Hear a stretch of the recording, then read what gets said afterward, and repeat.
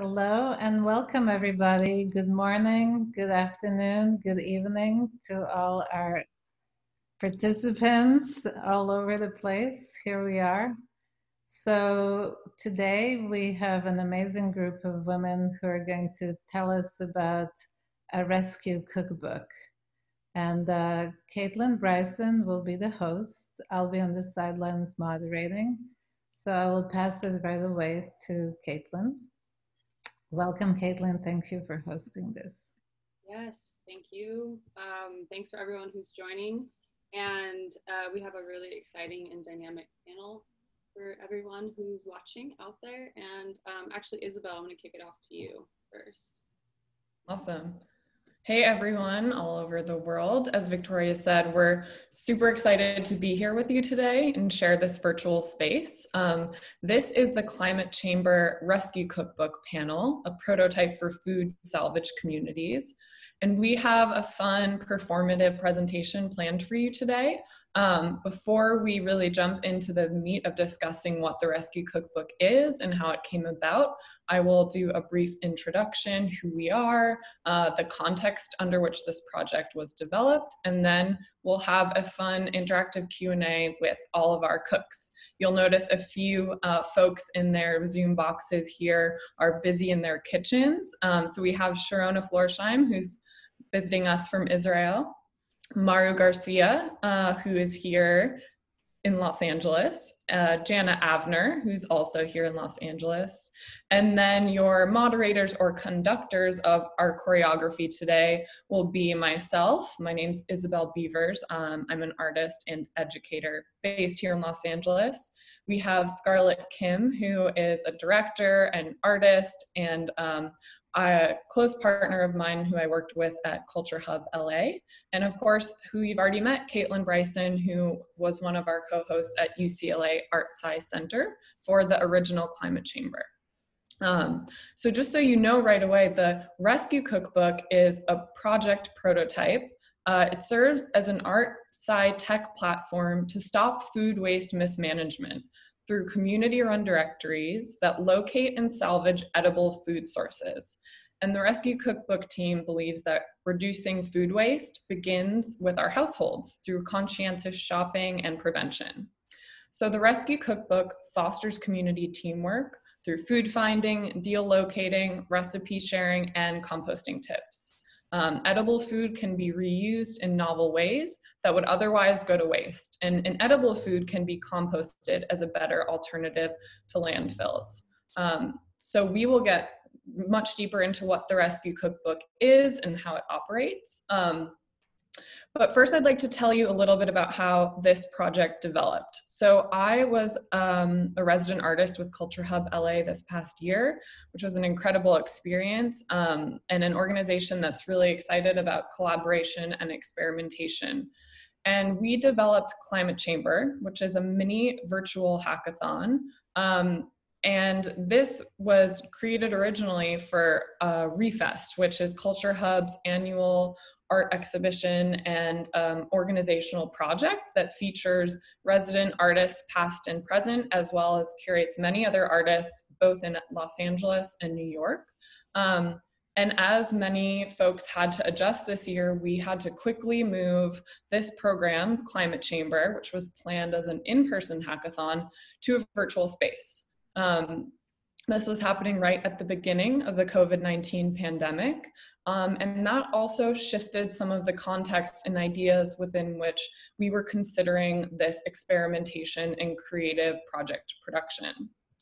So, the goal of Climate Chamber was to bring multidisciplinary teams together in this virtual space to have a sprint of ideas and generate creative projects that approach the intersection of art, science, technology, and climate change. Um, so the teams that came together for this virtual hackathon, which was hosted all on Zoom, um, were technologists, they were scientists, artists, choreographers, designers, and what we really wanted to do was facilitate the intensity that happens in hackathons that are usually designed for the tech field, but around creative artistic production. Um, all of us who work in collaborative methods know how incredible things can be when we bring folks from many backgrounds, perspectives, um, silos, and areas of expertise together. So the teams in the hackathon had quite a challenge set ahead of them. They essentially had one day to come together, most of the time with folks they had never met before, and develop a project related to a climate change issue of their choice. So they're challenged with identifying an issue and working in a team to come up with a creative solution or intervention that would address this issue. Um, an extra lens that was put on this project was thinking about the COVID 19 pandemic. How could this project get off the ground working in a remote way? And then in reverse, how could that happen in physical space should we be able to gather again? So there was quite the challenge that all, all of the teams um, were tasked with. But this team that you're meeting here, the Rescue Cookbook, was the winning, winning team. Uh, and we'll get into why. But first, I'd like to spend a little time also introducing the co hosts of Climate Chamber. So, this virtual hackathon was co hosted with Culture Hub LA and UCLA ArtSci Center. So, I'll hand it over first to Scarlett Kim um, if you'd like to introduce yourself, Culture Hub LA, um, and why you all were interested in working on Climate Chamber. Thank you, Isabel. My name is Scarlett Kim. Uh, I'm a programs and projects manager with Culture Hub LA. Um, Culture Hub is a global art and technology center with studios in New York, LA, as well as Korea, Indonesia, and Italy, and constantly expanding. Um, we're providing, um, our mission is to provide connected environments for artists to experiment with um, technologically informed work. We do that through residencies, uh, live productions, and educational programming, and so much more. Isabel was one of our resident artists for this past year, and like Isabel mentioned, um, Climate Chamber was something that uh, was born for ReFest, which is our annual festival bringing together artists, technologists, and activists. We were really excited and honored to host such a exciting interdisciplinary chamber for social change. Um, and excited to support uh, this project, the Rescue Cookbook, that was born out of um, that context. Um, yeah, thank you, and looking forward to talking to everyone more today. Um, Awesome. And Caitlin, would you like to introduce UCLA ArtSci Center's role in Climate Chamber? Yes. So we um, are the ArtSci Center. I am the assistant to the center and to Victoria, who's here. And we were established in 2005 by Victoria um, with this intention of bringing these quote unquote two cultures together, art and science. And Victoria started this program with the belief and knowledge that through um, deep art and science collaborations, real um, genuine innovations could happen, especially when it comes to critical issues such as climate change.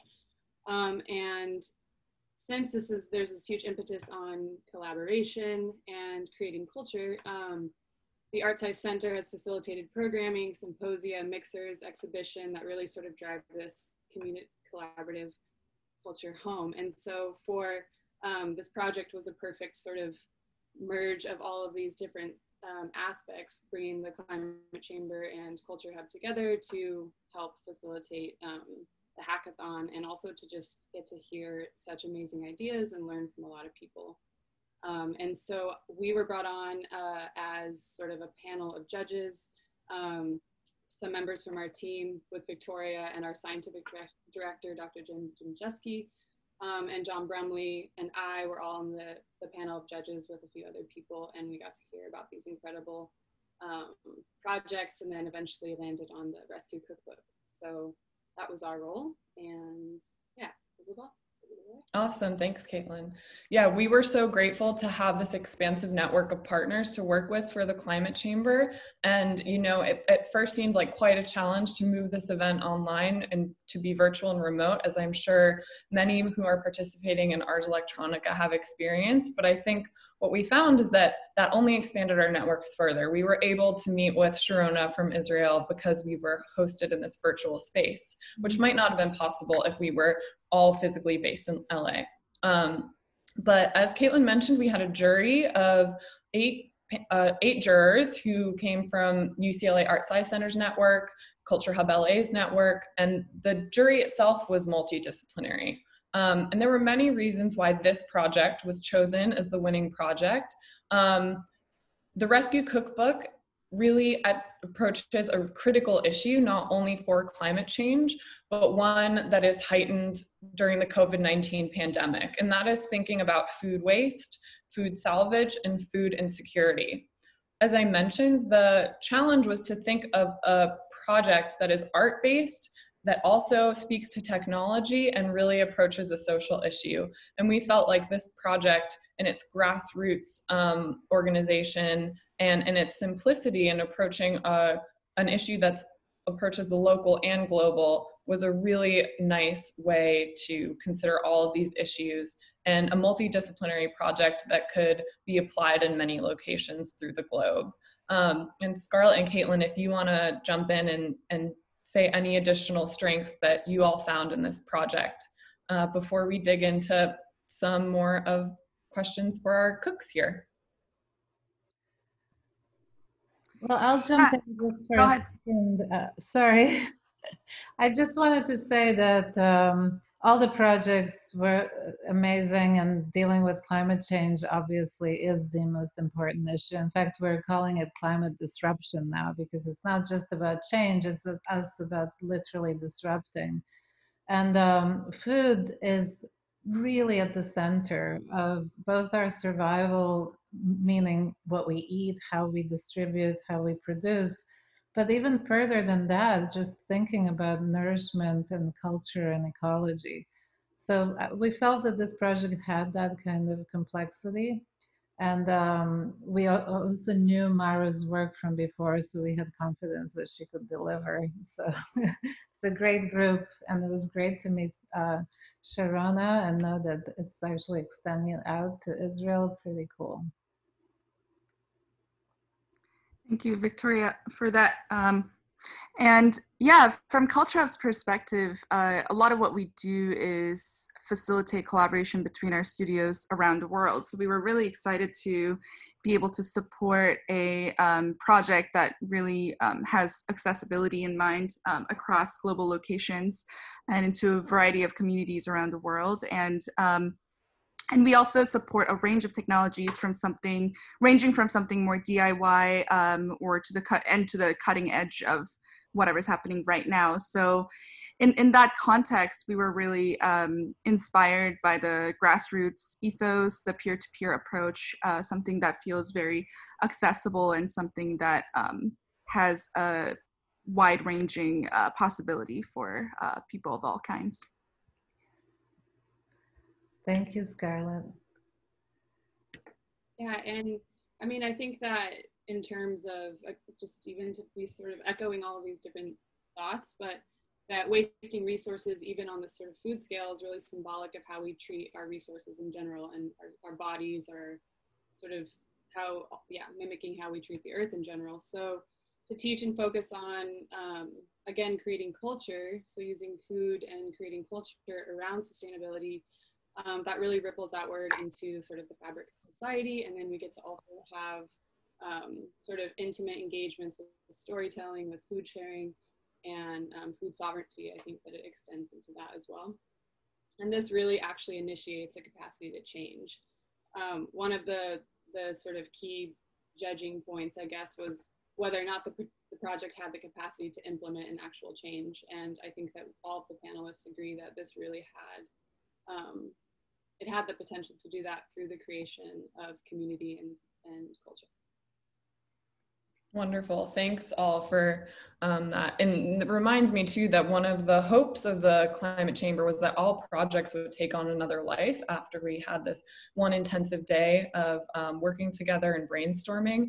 And as everyone is mentioning, this project absolutely immediately started to take on its own life and we'll share all with all of you more how you can become involved after the presentation today. Um, so I think it's time to get to know our cooks a little bit better.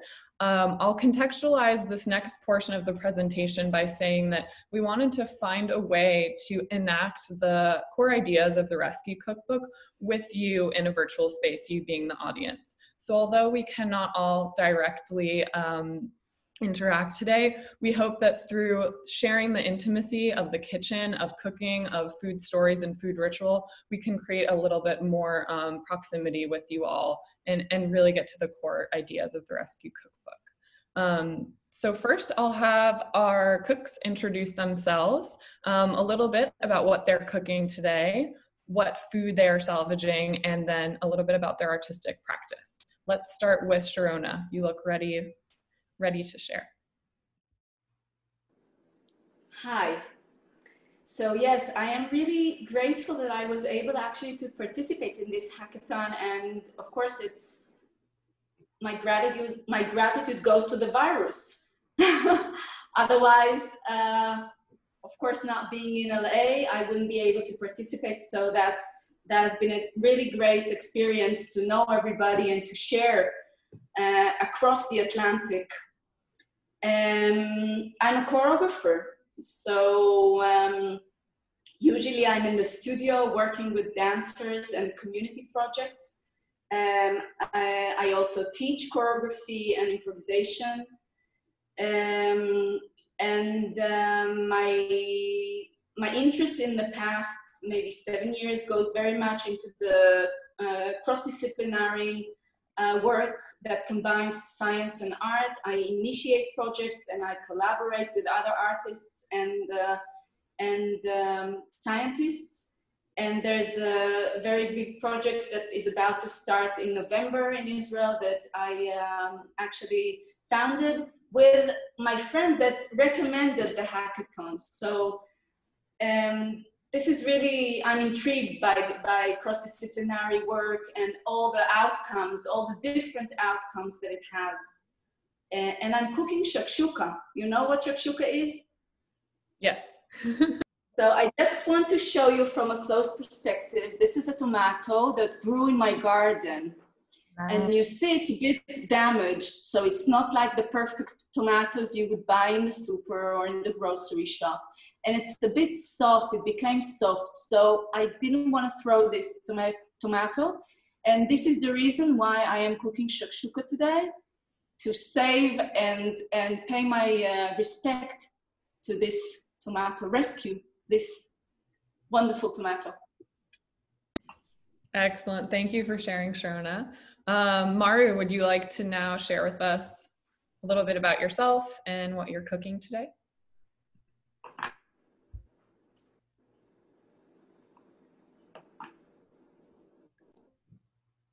Okay, there you go. Yes. So, hi everyone. My name is Maru Garcia. I'm from Mexico and I'm right now based in LA. I'm an artist, a transdisciplinary artist and researcher, and I work at the intersection of art, science, and environment. Um, I really believe that uh, through art, we are able, and through science, of course, we're able to to well, we have the power to change culture, and that's part of the, my main focus in my own practice. So with this project, I really got very excited to, to get to know people that are like-minded in terms of how we can really make an impact in the way that we uh, treat food and resources. And in this case, um, uh, well, for today, I was uh, thinking what to what to prepare, and it was not that uh, difficult. Usually, what happens uh, in our fridges is that we have food that then probably we forget about. And uh, in this case, there was a package of uh, celery. I have to be honest, it was not mine, but still, it was in my fridge and it was gonna be uh, thrown away. So I was like, of course, it's it seemed like a little bit the gross when you open the bag and you see all like the the things inside uh, are starting to get like this. But basically with saving food it's a matter of taking out the parts that are like not like starting to erode or like a little bit damaged and taking the things that are good. So instead uh, of throwing away the big the complete package I, I was able to find this portion that it's actually usable. So i would try to chop it and continue working with also some um, carrots these were coming from a service that, and I, I won't say the name, but this kind of service that sells food that it's not the, the one that uh, complies the quality for um, store, stores. Um, so that's another way of saving. And uh, before I, I go deeper into the, the recipe, I just wanted to mention that there is also an other options of having a better relationship with food. And it's through, yeah, probably having as Sharona your own um, uh, your own plants and cultivating yourself your food, and otherwise other ways through um, foraging. So today in the morning, I was also wanting to show that around my area there is trees, and actually there is two blocks from here, a tree from peaches. So they're of course not the big ones, and they look a little bit like yeah, not not perfect, but I think there is something that can be eaten from here. And then I found some mint. So that's what I'm having today. And probably we will share it later. But thank you. Thank you, Maru. Thanks, Maru. Um, and last but certainly not least, Janna, would you like to introduce yourself and your recipe for us? Yeah.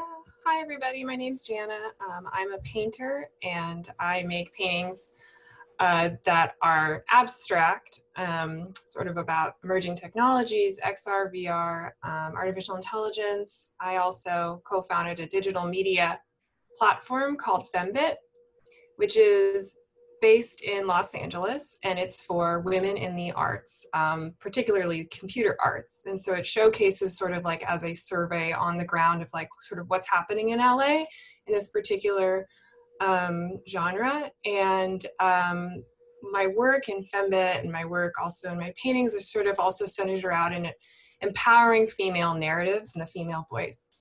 So that's a little bit of my background. I also have a background as a writer and a researcher. Um, one article I've published was on, you know, a social critique of humanoid robotics. I sort of dabble in different areas when it comes to innovation and how artists like us can influence um, innovation in an ethical way. Mm-hmm. So that was a big um, reason in sort of joining the hackathon as well. Um, and today, I am making a, it's a rice, so it's a rice cash, casserole, sort of. It's basically an old recipe that is sweet um, and you add a little bit of honey to it. And it was a recipe my grandfather told me about. Um, during the Great Depression, his mother would make this. So my great grandma Irma. And it's for leftover rice. Um, in this example, I, you know, use the, the rice cooker for it. Um, but you pretty much just put it in the oven with a little bit of egg, you know, some sweetener, a little dairy, and it comes out and it's quite delicious. And it's just such an easy, nutritious way to like kind of pull like the last little things from your fridge. Mm-hmm. So yeah, that's what I'm showing you guys today. And I'm excited to, you know, pull it out and have a little bite in this. Thank you. Everyone's gonna, I know I'm gonna be so hungry by the end of this panel. Yeah. And I'm excited about that to go forage in my fridge and see what I can come up with. Um, as you all can see, we have quite an interesting group of cooks here with lots of different interests and backgrounds and also a lot in common. So the first question we'll pose to you, and I think Janna, I'd love to hear you answer this one. How did this group conceive of the Rescue Cookbook? How did this idea come together and what inspired you?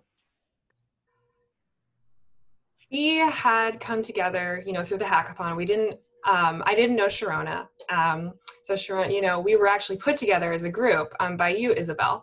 And so you were a big part in the formation of this project, as was Scarlett and Culture Hub in making this possible and then having, you know, the expert eyes on it, you know, through SciArt. And um, it's just been, it was kind of a wild experience, really, because, you know, we threw out like 10 ideas, I think.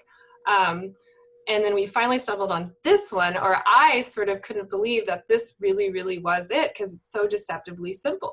Um, it's just about you know share, saving the food in your fridge and yet if we create a culture around that the importance is vast. The amount of food we could be saving and the amount of eh, people we could be saving from famine as well is is just is vast. So um, a little bit of the background as to you know the fundamental importance of this is you know food famines are very real and it's also just in, become an increasing sort of dramatic very, very, very increasing problem due to COVID, um, COVID 19. Mm-hmm.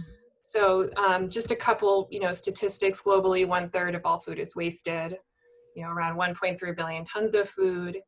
That's $940 billion each year.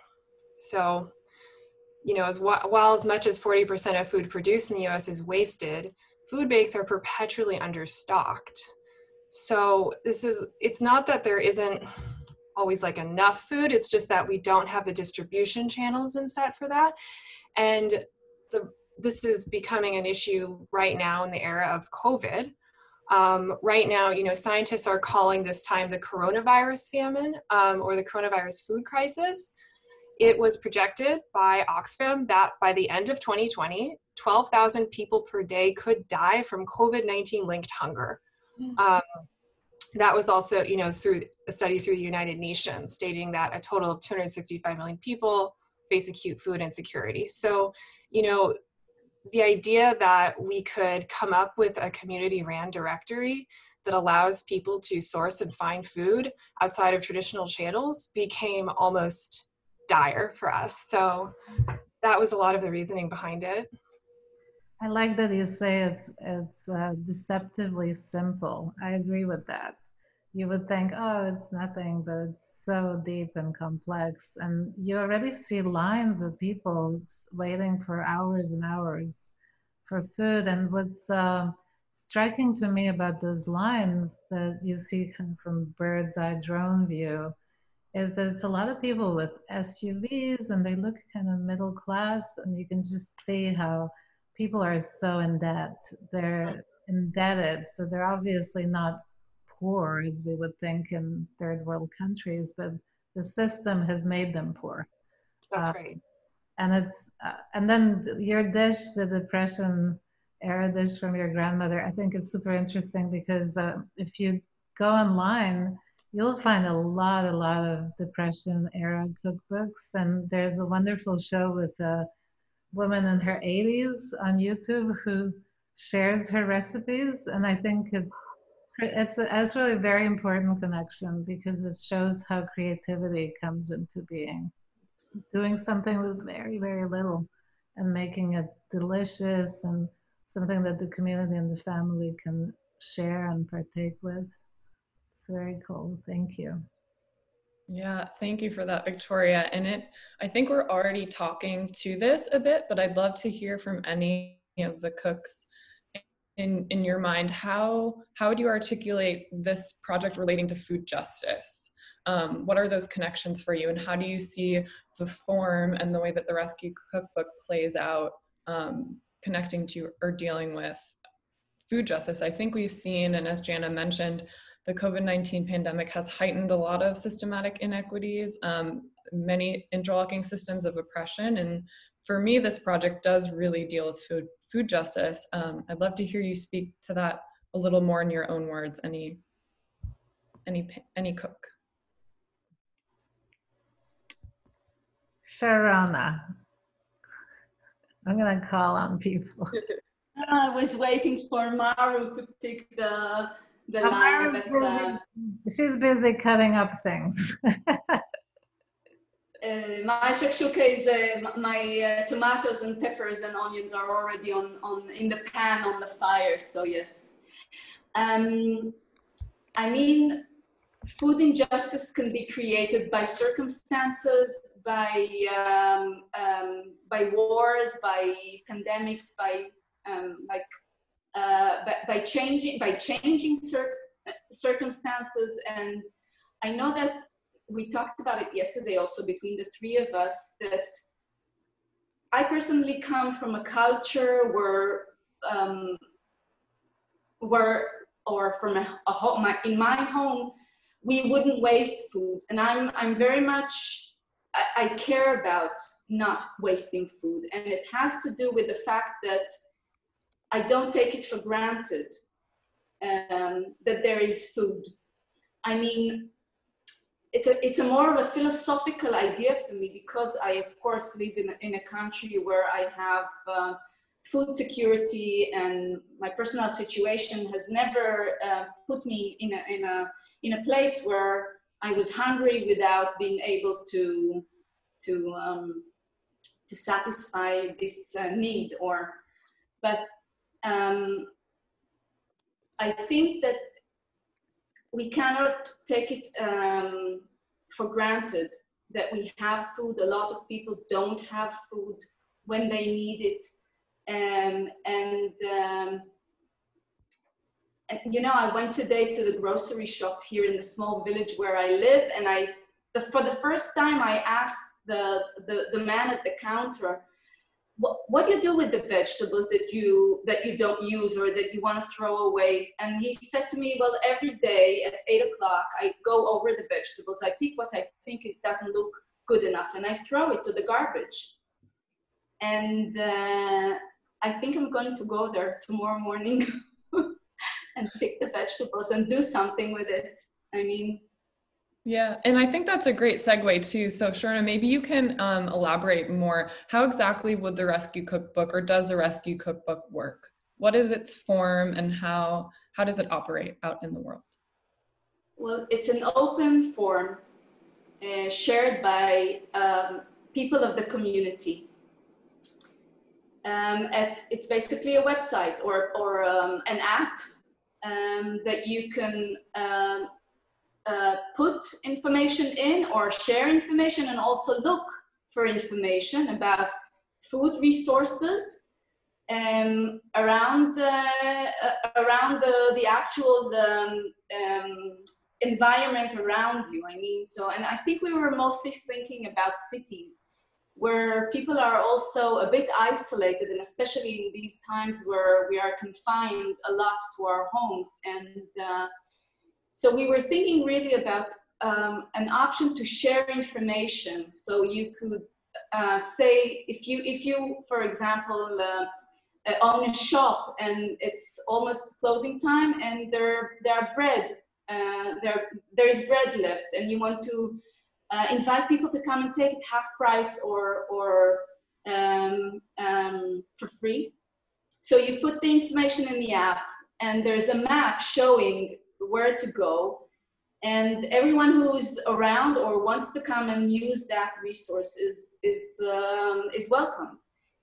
And on the other side, um, if you have, if you bought the bread and it's like not very nice already to use as, as regular bread and you want to make something out of it, and so you would probably look for a recipe uh, of how to use old bread and if you have found something or you have a recipe in your family, like something that goes back to times where you used everything that you had, uh, and so you could share that recipe uh, with a story, with your family story, same way that like Janna did. And so this is in a way at the same time saving or rescuing food, sharing information about where those resources are, and also sharing your personal um, and history or culture. I mean, the shakshuka that I'm cooking is very Israeli typical. Um, and so, I mean, it's something that says something about um, my own culture. And so it's like, um, it saves food and it creates, or it aims to save food and create community at the same time. Here we have a problem with uh, uh, stores actually locking up the food waste. And uh, you can actually get a ticket if you try to dumpster dive and pull out some of the bad food. Or you know what's considered um, you know, not pretty enough or supposedly you know ran out of its expiration date etc so it's a whole nother layer you have to address did you think about that? I mean, especially those living in LA, like how do you deal with the policing of the food waste? Hmm. Yeah, um, yeah, I think uh, that's. I'm sorry, I just jumped into it. Um, I think it's yeah, it's part of the previous question of this injustice because yeah, it's telling how the system is like controlling how we eat, basically what we eat and um, even like when we were talking about expiration dates, some some of the times they are just placed um, those dates without really having like a, um, yeah. a test of what is going to last uh, uh, food. Mm-hmm. So it's also something that it's like encouraging, of course, more consumption and like people will wouldn't take the time to really uh, open a can and see if the the the thing is really uh, bad. It would just be the automatic thing of oh okay expiration date whatever I just throw it. So yeah, I know that we are dealing with a very um, difficult situation because it's it goes to the roots and to things that probably sometimes we think are out, out of our control as the policing uh, situation of food that could be um, rescued that way. But still, I've seen some places that have uh, that as a, as a way to also contribute to the situation, like meaning that they are able to really put outside their stores. I've been like twice uh, outside some of the big stores, and they were just like probably the store not uh, was the one that was uh, sharing the food, but actually the providers, the ones are bringing the food to the store, and probably they the food was not received. They were the ones that were like giving away all this food. So yeah, that's something that yeah we know it's difficult to to really address. But probably uh, our our point here is that there is always a way uh, of making this a thing and really start from our own kitchens is also another uh, thing another point that we are really trying to to bring.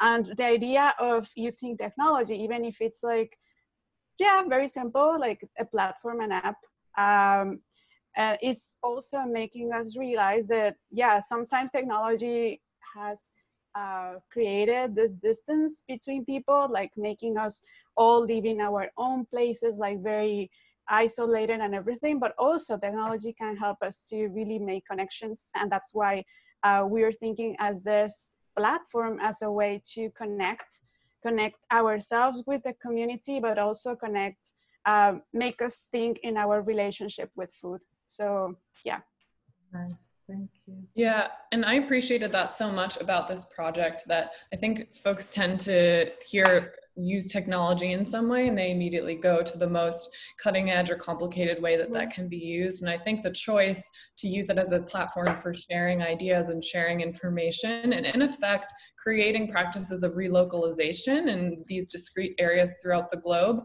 was a really strong structure um, and a really great way to begin Maru as you're saying creating these reconnections with ourselves with our food and, and in communities that perhaps we don't come into contact with in our own regions as much. Um, I know Sharona had a great anecdote about artichokes that in my mind I could just imagine meeting lots of new folks from my own, own town that maybe I didn't know in that process. So I know Kate, I think Caitlin has a question for us next, but Sharona, would you like to tell everyone the, the artichoke story because it's a wonderful anecdote of how this functions? I mean, I think the cookbook really is about caring. it's mm. really about caring for ourselves and for the environment and for the resources that we have. And, and really, from that care comes the need to rescue. And during the, the, the, the first month of the pandemic here in Israel, the village where I live, uh, there are um, um, farmers and one of the farmers grows artichokes. Like there are huge fields of artichokes um, when you step out of the of the village. And but the uh, the artichokes are usually um, delivered to restaurants or to specific shops uh, across the country, or even sent away abroad. Um, um, and so the, the farmer got stuck with, with tons of artichokes without being able to actually distribute them. And uh, as a last resort, he offered the artichokes to the people of the village. So we went to buy artichokes and we all came back with, with a huge, like 15 kilos of uh, artichokes, each one of us. And it's, it's a bit complicated how to cook it and what to do with it. And suddenly came this rumor, like it was traveling between people, that there's a fantastic recipe uh, of artichoke and very simple. You just cut it in the middle. You put it in a, on a, um, what do you call it, um, um, an oven uh, pan with olive oil and you put it in the oven for 15 minutes with salt and pepper and it's delicious and everybody was talking about it in the village it was like everybody was cooking artichokes in the same way and i think that that, that story kind of it was it was lying there in my in my conscience when when we came together for the the hackathon it really made an impression on me and uh, try it it's really good Thank you so much for sharing. I love well so many things about that. I, I love the two words together, artichoke antidote. That's those are great. I also love um, the artichoke is like the you eat you sort of consume the heart and it's kind of like visceral like it's very visceral and like to eat an artichoke because you're just like sucking and slurping and it I don't know it's just very like in, in eating the heart but also having like an entire community brought by brought together by the coronavirus in this case is actually really quite beautiful. Um, my question is actually is about accessibility. So in terms of social and food justice, um, a lot of the issues that we all are aware of and we're all sort of talking about um, happen very readily in homeless populations. And so how does the rescue cookbook work for people who might not have access to the internet or a smartphone and also potentially even not have access to a kitchen?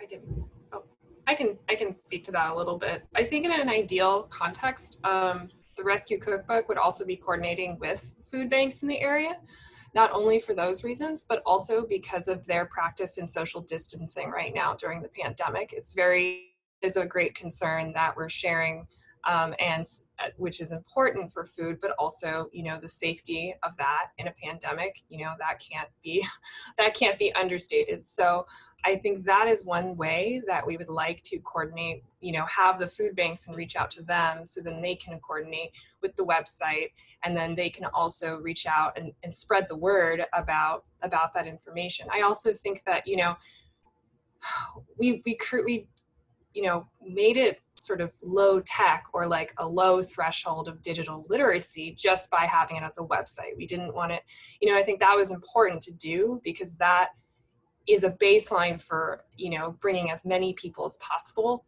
to the platform. And um, i think you know as we move forward we'd probably need another hackathon isabel actually to tackle um, you know that that other you know aspect where what happens when no you know there is no internet connection. So it's it's it is it is the next sort of step i think in you know working up working with this. Um, I will say in smaller towns, um, you know, there is almost a network as of people like Sharona said, working together and sort of who know each other. I'm just speaking from, you know, my mom is from Fairbanks, Alaska, and like the whole town pretty much shares food resources.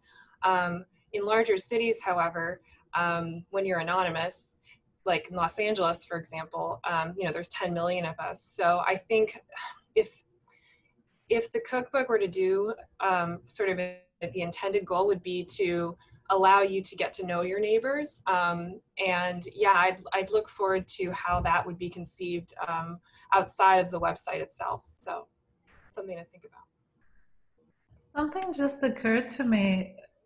Isn't there a pretty straightforward way to uh, collaborate with food banks and with places like churches and other community centers that are already set up for that and that could really use uh, help number one but also some education about the food that could be provided to people. A lot of times it's just junk food in the end or not very nutritious food that they end up having.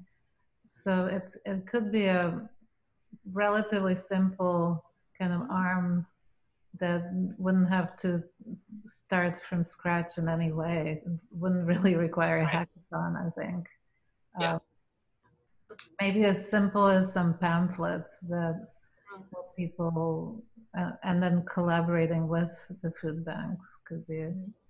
LA certainly could use that. Mm -hmm. know that.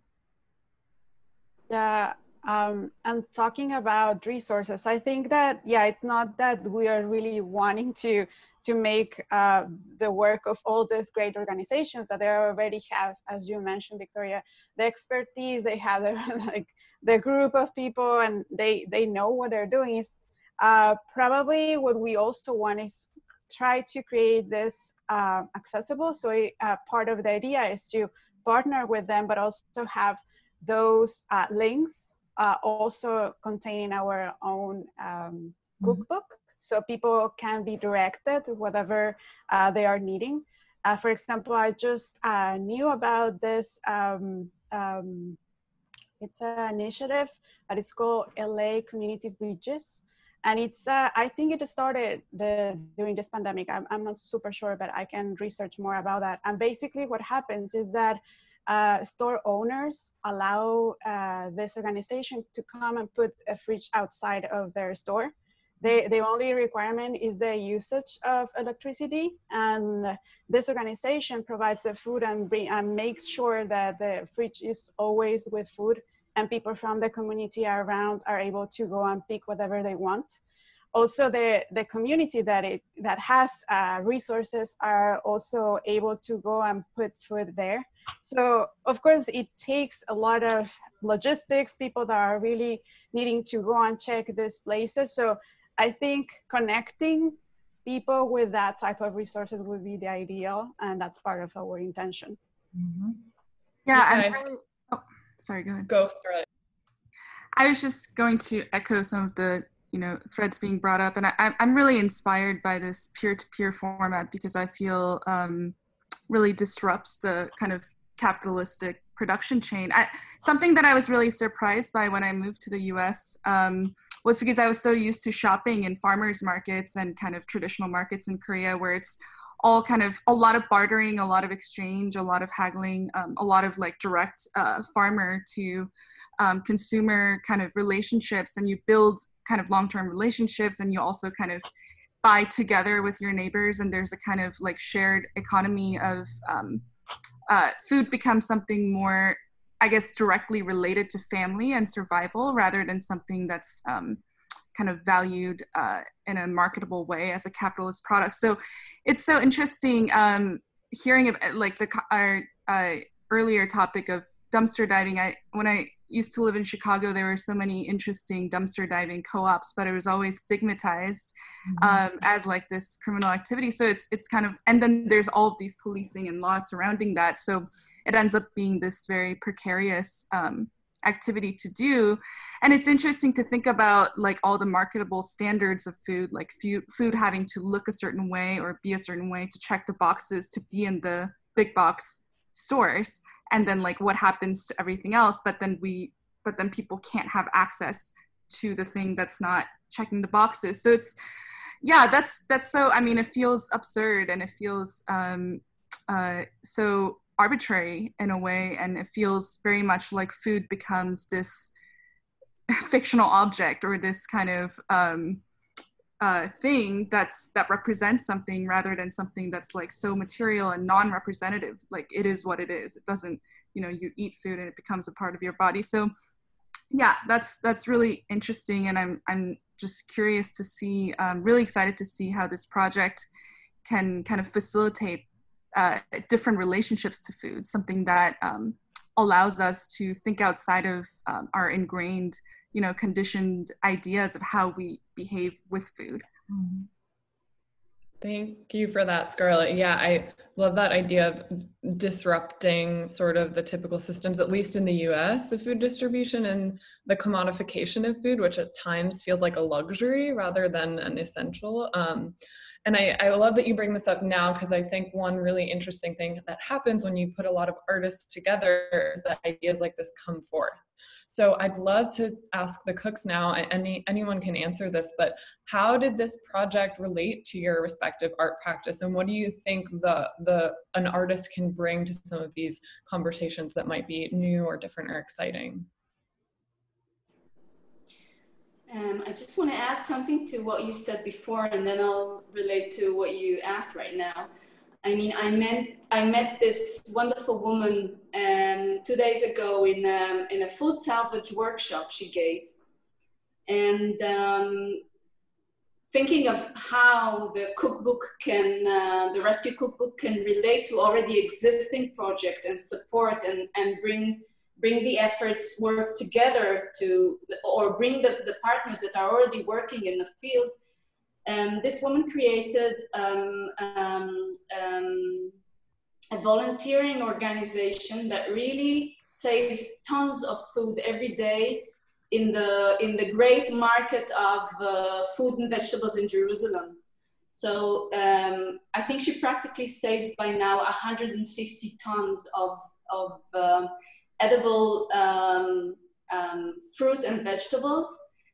And they are now thinking of like building small shops, or it's not, it's the word in Israel is in Hebrew is basta. I don't know how you say it in English, but it's like a stall or like a small, uh, a pop-up shop would be, uh, would be more appropriate where they actually create relations with the people that that that come and take the food so it's not only this this uh, giving action or you know i have and i come and i give and all these all the all the things that go with this like so-called charity uh, action or like this attitude of of the the stronger giving to the weaker and stuff like that. So they're really trying to to to create a setting where all this organization really involves the community that, that needs the food. So it's not this passive and active thing but it comes together as something that creates a community that works for the community and engages the people in a more uh, active uh, and, and supportive way. Um, and to your question, how does this relate to my practice, my existing practice? Um, I think I am very busy now with community. Um, or changing or shifting my attitude between audience to community. And in Hebrew, it works very nice. I mean, audience and community have nothing in, com in common in English, but in Hebrew, audience is kahal, and um, and the community is kehila. It's the same root, it's the same letters, it's the same idea. So it's like this ability to change from, or or the need, I think, this this time brings to to shift from having performers and an audience um, into a community that involves uh, all the people sharing this experience and creating it together. And this is something that I am very busy um, thinking and, and, and, and reforming or rethinking my practice. It's something that I've been doing before, but now it's, it feels more urgent there's an urgency I feel to to rethink um, how do I relate to to the community of the dancers and to the community of the people that, that I share my work with. And I think that that relates very much to the cookbook idea. So speaking of community, there's a question from a participant from Israel asking if participants or attendees can share their recipes. Do you have a way that after this panel people can contribute their recipes? The, um, the, the website already exists. I think you shared it in the chat, did you? Yes. Okay, and so there's the form there where you could actually uh, put your name and share your recipe with a story, not yet a picture, but if the rescue cookbook would actually go fully live, there would be an opportunity also to, to upload pictures. And actually the, the, the cookbook is created by the people um, sharing their recipes and it kind it kind it's, it's a work of, um, of um, compiling or adding to the to the um, to the community cookbook. So everyone is invited. Actually, it would be fantastic. Wonderful, thank you. And Sharona, Maru, and Janna, will you all be sharing your recipes that you're cooking today in that cookbook? Yes, cool. Yeah. I'm probably, uh, well, trying to answer the, the question, and probably the three of us probably can, can answer how this relates to our practices. Um, I can say in my case, I'm always interested on trying to think um, as my practice as a way of create relationships. The relationships can be with uh, other organisms, usually plants, but other some other organisms that could be microscopic or macroscopic, and of course with other humans, right? So uh, in this case, the relationship that I'm uh, exploring through this project is with the, the other people that are around me or the people that are also wanting to, to create this type of, uh, well, the, to think about this new way of eating and to e relate with food. So I think there is a very good connection in that. And of course, the idea of this being a, a way to also engage with environmental concerns that I'm really fond to that. Uh, it's also another way that it's connected. Um, of course, um, Janna already mentioned the amount of uh, food that is wasted and is thrown away. And that means also energy that is being wasted. Uh, all the energy that comes for like for the for the production from starting with agricultural uh, all the the process for for um, putting together like or to create this this food also the distribution channels then uh, the energy that goes into the stores that sell them. Like so there is so much energy that is wasted for it to be then uh, packaging also it's part of it. So everything is connected there. So for me there is another this is another way to really try to contribute uh, with this uh, environmental crisis that we are living. So that was my, yeah, my answer. Great. We just have uh, one or two more questions and then it'll be time to start sharing and wrapping up. But I wanted to give Janna the opportunity to share as well about your practice before we move. Oh, yeah. Um, you know, like as a painter and as an artist, I have, you know, been inspired by interdisciplinary approaches to you know the content I work with. Um, I think you know I, I the art pedagogy um, and post post modernity, for example. You know I can't really understand it in a vacuum. I like how you know art can be um, about or discuss uh, what actually like the material effects on everybody's lives kind of like food water shelter the fundamentals and I think um, science inspired art does that really well. So that was something I was thinking about. You know, fundamentally, when I make art, even if it's paintings, it's about it's about people. It's always been sort of about connecting to people. Um, the reason I joined the hackathon was to connect actually just to the community of artists like in the area or globally or who's thinking about this so that that's probably you know that's probably my starting point for most of my research and inquiry and and yeah, why why I was excited about this project.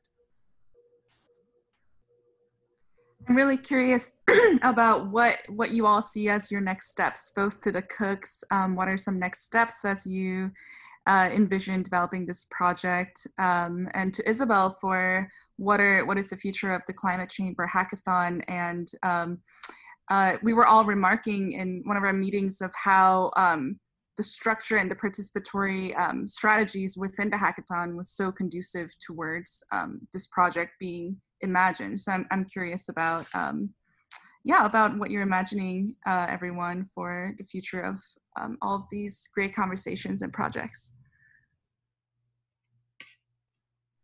Sure, I can I can start and then I'll let the cooks tell us about how what's next for the cookbook and how all of you watching can participate. Um, briefly, I was really excited about the structure of the hackathon as I'd seen this type of structure work really well in the past, especially for tech communities who come together in these interdisciplinary teams and in a matter of days come up with a prototype for a project, a product. And I had participated in a few similar structures with MIT, um, with A2RU, which is an Alliance for Art and Research Universities, as a student at one of their events, and found um, also myself that I got really excited and that really new ideas were generated in these intensive environments. Um, also, I used the title climate chamber because it is a tool that is used to test um, different climatic conditions. And within these chambers, you can learn a lot um, about, about those conditions and what happens within them. Um, so I wanted to apply the hackathon structure to creative projects. I think myself and cohort of artists that I'm in contact with are always looking for ways to connect, not only with other artists, but with scientists, with designers, with folks in other um, fields. And I thought that it would be a really great way to ignite that and to initiate that by having all of these incredible producers come together and see what could be made. Um, so I thought the the the hackathon went really well. I'd love to host more climate chambers with slightly different foci. You know, this one really was on um, climate with the lens of COVID and working remotely. And as we all know, there are endless numbers of issues we could really focus on and generate uh, innovative ideas for. Um, and I'll say, I think the best benefit is seeing the cascades and the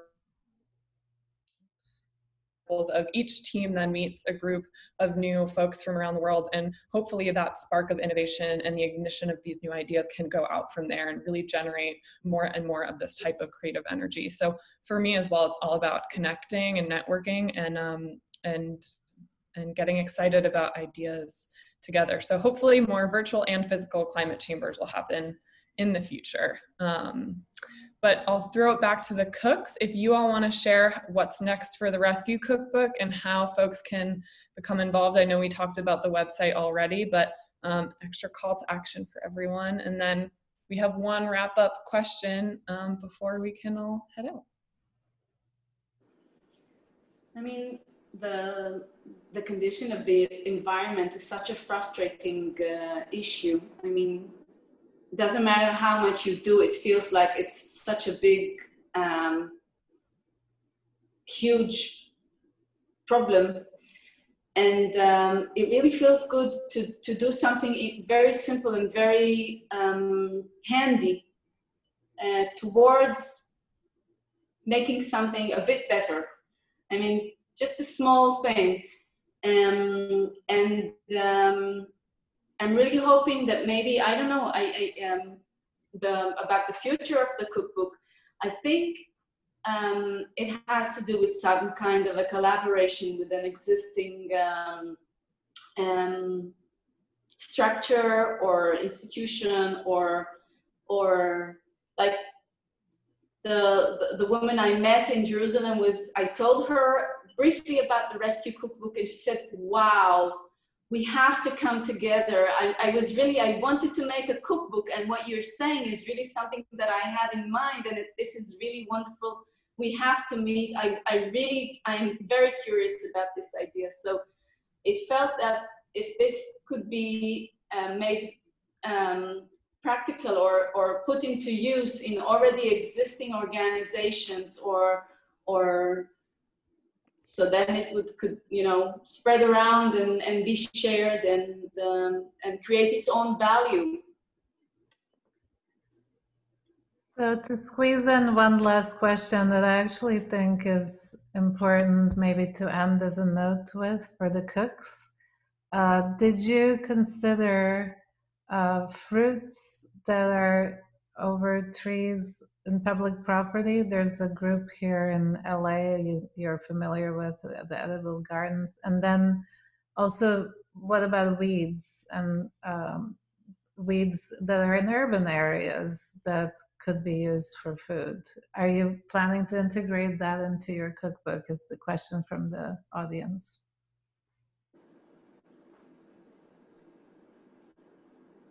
I mean, in Israel during the winter, there are there are a lot of edible uh, weeds and things that you can actually gather from your surrounding.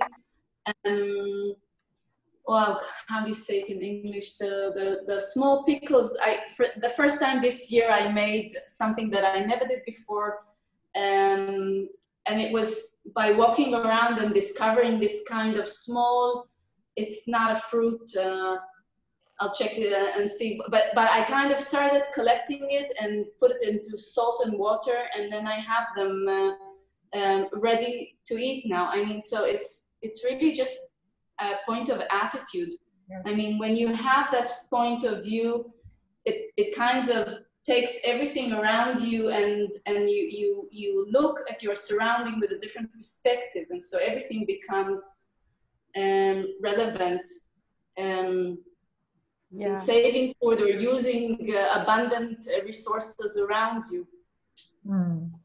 Exactly, and probably um, yeah, coming from from that same uh, uh, question, I think that this is really something that the community itself can explore. Of course, right now we're in this uh, uh, prototype situation in which we are like getting ideas, and of course, if someone from the audience is really interested and really wants to to share some ideas of what, how can we this make possible, it would be great they can uh, contact us through through our website. Uh, but yeah, that, that would be great as well. Like as I mentioned, like even going out, I found mint, I found um, peaches that were just in the ground and the, this tree is there growing and always when I walk around, I see so many of, of this just in the ground um, rotting yes. and nobody eat them. And well that just the, the the insects of course and that's great. But uh, but we still can be able to walk around and to pin for example i know that there is an organization that is uh, actually doing that that has this map and you can pin where is uh, a tree uh, that you can uh, forage from so yeah that that type of information can be something that someone around here can know that there is a tree that has really good peaches because i already eat, uh, ate a lot of them in the past. And yeah the, as as sharona mentions there is abundance. It's just the way that we look at things basically. Capers. Capers. Incredible um, like that. I think that's a beautiful note to um, yeah. end our conversation on. As we sign off, I would love for each of the cooks to share their updates on the on what they've been cooking today. And I think this is for. Oh, look at Sharona, almost done. This is the shakshuka. Well, for all of us, one point of inspiration or resource or an idea to share. yeah, I wish you could be here to, to share it with me. Too.